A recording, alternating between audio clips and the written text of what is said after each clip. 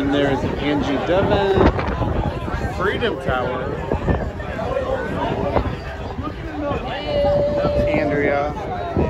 All right. Can you see guys? Can you see guys now? All right.